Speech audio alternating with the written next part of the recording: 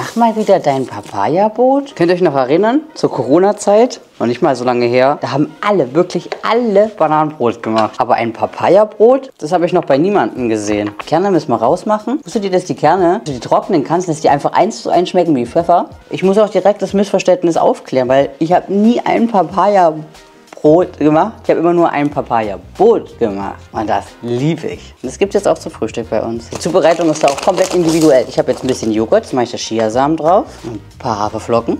Kannst du auch Müsli nehmen, kannst alles nehmen, was du möchtest. Oder was weg muss. Eine Banane, jeder ungefähr eine halbe. Das ist auf jeden Fall das schönste Brot, was ich je gesehen habe. Dann mache ich mir da noch ein paar Blaubeeren drauf. Und ein paar Träuble. Oh, ich liebe die Dinger. Dann haue ich mir da noch ein paar Kokosflocken drüber. Mm. Und ein bisschen Honig. Oh, der Honig ist leer. Boah, jetzt guckt ihr an, wie schön das aussieht. Lässt sich auch richtig gut essen. Einfach einen Löffel. Jetzt kannst du hier in die Papaya rein. Mit ein bisschen Joghurt und einer Blaubeere. Mmh. Lecker. Und wer ein gutes Rezept hat für ein Papaya-Brot, slide in meine DMs. Oder schreibt es in die Kommentare.